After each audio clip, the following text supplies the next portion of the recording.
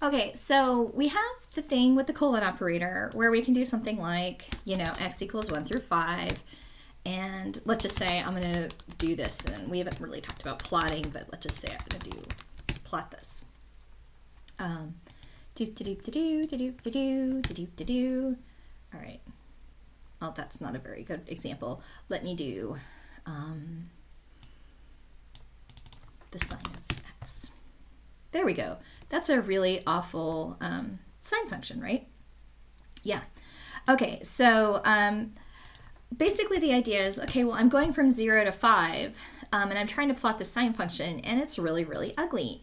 So I could be like, okay, well, I need to like have, maybe if I do a half of a step size, it gets a little bit better and it gets like less chunky. And then I can do like more steps and it's less chunky and that's like a little bit better. Um, so that's pretty good. Um, so basically the more steps that I use, the less chunky it gets. So um, there's a way to avoid having to play this game though, because like with this it's okay because I can kind of play with it. But I guess in, in theory, you could end up with the situation where you don't want to be kind of playing this game constantly of like, well, what should my step size be? So what you really want to do is just like, I just want a smooth graph every single time. I just want to use a thousand points. So I guess in theory, you could be like, okay, well, 5 minus 0 divided by a thousand will give me a thousand points every time, which I guess you could do if you super duper wanted but that seems kind of like a waste of time. So instead of doing this,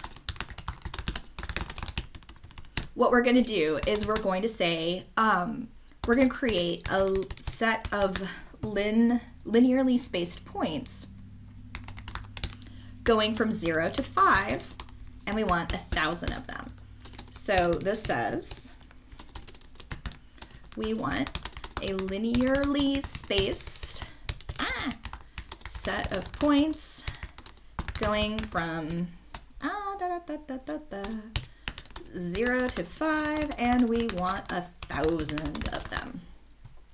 Okay, here, I'm going to do this so it's a little bit easier to see what we're doing. okay, so every single one of those stars is a point. So if I took this down to say 10, you can see all 10 points. Okay, all 10 points, that would have happened if I would have used this one up here as well. If I do 100 points, you can see all 100 points. If I do 1,000 points, I can see all 1,000 points. So again, you can do it um, the exact same thing using math. But again, the theory is that the people who are doing this are like kind of good at math, but they're better at programming. So we're trying to avoid having to make them do math. Um, we're just trying to trying to save them some time. So they're linearly spaced points um, going from zero to five, and we want a thousand of them. The reason we would do that again is just because it gives us a nice, even picture of the data. That um, I'm just using a graph because I think it's the easiest to kind of visualize what's going on. Um, because it, I don't know, I just think it's easier to see what's going on. So we've got that. Um, so we have linspace. We have another thing out there that's called logspace. Um, also notice that um, MATLAB is using the most recent value of x, so it's saying, hey, this value to the assigned variable might be unused, and that's because as soon as I make this x, I'm overwriting it with another x, so it's not even using these x's. So I'm gonna, there's another thing called logspace, and I'm gonna do this, and then it's gonna have this really weird graph. Okay, so whenever you look at this, you're like, what is it doing? Oh my god. Okay. So I'm gonna make this go up. There we go. Okay, so we have this terrible, terrible, terrible graph um, for logspace, and you're like, I have no idea what this thinks that it is doing. Okay, so um, logspace is clearly not doing whatever we think it's doing or whatever the linspace was doing because, okay, if you look at it, linspace went from zero to five, right? Logspace is going from, it looks like zero, but it's not, um, up to 10 times 10 to the fourth. So it's actually going up to 10 to the fifth. And then there's like a ton of points way down here and like not that many over here. So that's super weird. So I'm going to take this away. We're going to go back to our happy little world where we have this nice thingy, and now we're going to go elsewhere and create more stuff in a new section with logspace. So linspace is just starts somewhere, ends somewhere, and has a whole bunch of points in between. So um, for the purposes of this, like if you wanted to go from 0 to 2 pi, you know, having 100 points between 0 and 2 pi, it looks real nice, it's real pretty, that kind of a thing. Okay, now logspace, on the other hand, is a little weird. Okay, and, and it's not always going to be a thing that comes up. But if I go, here, I'll show you. So type,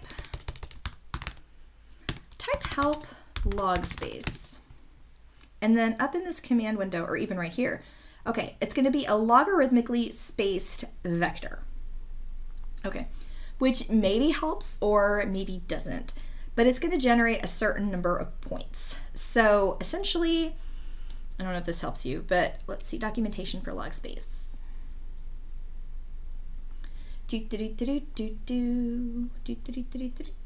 Okay, logspace generates endpoints between decades, 10 to the A and 10 to the B. Okay. So these aren't really great, but I'm going to copy this. I'm going to put it right here just so that I have it. No.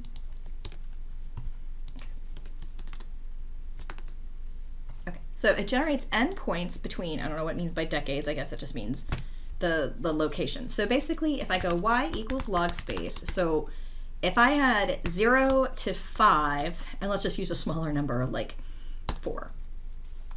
Let's see what it's giving us. All right. 10 to the 5th times 0, that thing, this thing, and this thing. Okay. So here's another thing that's kind of maybe helpful. I'm going to use something called format bank. And what format bank is going to do is it's it's going to stop this thing or maybe I can yeah, cuz see how this is I can't tell what this is doing cuz it's all 10 to the 5th and it's gotten me confused. Format bank, this formats everything with two decimal places like it's money. And sometimes that's helpful to me. okay. So sometimes when I can't tell what's going on, I try formatting banks. So, okay, it's four elements clearly, so that part makes sense. All right, so it's going 10 to the 0, which is 1. Okay, 10 to the 0, which is 1. And then 10 to the 5th, which is that, right? Because it's 1, 2, 3, 4, 5, 10 to the 5th. Okay, so there's clearly five zeros there. Now these numbers, however, are not what you would say like um, they're not evenly spaced. Okay, I kind of came up with a fake example here. So I'm to come off to the side over here. So essentially what I did is I came up with two things. So we have linspace. Actually, I'll rewrite it over here. I'm going to do, I'm to copy it over here. All right, so so what, what I'm going to do is I'm going to do this two different ways. So I'm going to do the numbers um, x goes from 1 to 100. Right, so this is how this would look, right? So this goes from 1 to 100, 10 points. And the way to think of this one is it goes 10 to the 0, which is 1, to 10 squared, which is again 1, and 100 or 10 points. And these points are um, linearly spaced, and these points are logarithmically spaced. Okay, so um, then the y equation that I'm going to do is y equals um, log base 10, log base 10 of x squared, um, this whole thing. Thank you. That's not what I meant. Ah, x, come here. Can I not type in there? x squared plus, plus 5. Okay, so this is what I'm trying to do. I'm just going to kind of show you what the difference between these two things are. So that's log base 10 from x1 squared plus 5. So this is the linear linear version and I'm going to plot it in red. And then this is going to be is the logarithmic version I'm going to plot it in blue. Okay, so if I go ahead and I run this, doop doop doop doop doo. All right, so what you're gonna see is, okay, in red, we've got linearly spaced points, right? Choop, choop, choop, choop, choop, choop. Okay, which is fine and dandy. However, was the interesting part, I don't know how to say this better, but the interesting part of this function is what's happening at the beginning, right? So here, let me turn this plot off for a second. So if you just look at that, it kind of looks like it goes chonk, chonk, okay? If I put this one back on, here, let me go line width, or line width equals two, is that a thing? Yeah, apparently. Maybe. Um, that does not seem like it's getting any bit thicker. 45. no, it apparently does. Oh, because that's a, a line with four. Now that's all kinds of chunky. Okay, let's go back to two. All right, so if you look at now what's going on is the interesting part is see that's red line just kind of skips all this interesting detail. Now you could say, well, the blue line is skipping this interesting detail, but this isn't nearly as interesting as what's going on here. So if I zoom in on this section here, oh no, please stop. Okay, if I zoom in on this section here, it's off by a little bit, right? But if I zoom in on this section here, it's off by a chunk, right? So essentially what the logarithmic function does is whenever you have certain kinds of functions, um, the interesting things happen like right at the beginning. Sometimes, you know, like interesting things happen and then it kind of settles out. So sometimes you want to use logarithmic data or logarithmic inputs to kind of tease that information out. So um, if you're trying to, basically what I'm saying is if you're trying to get some information, if you're trying to fit something, you're trying to look at something, and it's not quite coming out the way you feel like it should be, instead of doing a linearly spaced, try doing a logarithmically spaced. Now, okay, this problem solves itself if you use enough points, because if I use a jillion points for um, the red line, it'll fill all those in anyway. But I don't have to work so hard. This isn't a big deal right now, but you know, if this was taking me hours and hours and hours to do these computations, um, I'm doing all of these points unnecessarily when it's pretty obvious what this dude is doing whenever it comes out here. Like, there's not a huge difference between what's going on between these two points, um, and it's taking me one, two, three computations to get a very small amount of a difference. Whereas if I'm coming over here, um, I'm doing these computate or I'm, I'm avoiding these computations but um, by doing a linspace but I'm losing some pretty significant data.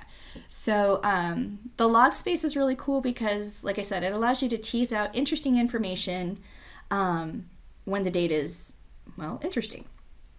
So all that to say, again, if I put in more points, here, I'll um, suppress these so they don't make such a weird thingy. Um, so if I if I go in here and I make hundred points, you're not gonna be able to tell. They're just gonna go right on top of each other, and it'll be fine. Um, but as you're working harder and harder problems, the more points that you do, the longer in theory it could take. Mostly I'm doing this so you'll be like, when am I ever going to use logspace? That's stupid. So basically I just wanted to have an example of, you know, why would we ever care? Um, and the answer is, I don't know. Eventually, obviously, at some point, somebody cared because they made a stupid function for it, okay? So, there. Just learn it. Dang it, because it's important. So, hopefully, this is a long enough conversation to you, for you to at least remember that logspace is set up differently than linspace because um, it's 10 to the blah blah times 10 to the blah blah with that many points. And they're not spaced evenly, they're spaced more uppy closely together at the beginning because sometimes that's when functions are the most interesting.